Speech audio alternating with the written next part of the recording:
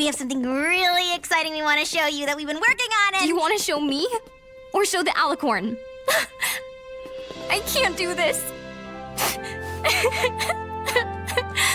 Go away.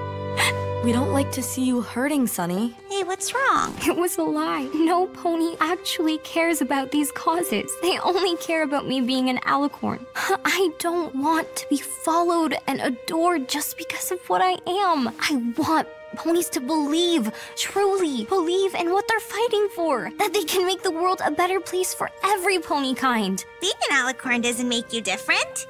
It makes you the same. It does? You're every pony all in one. Like Zipp Spy Gear.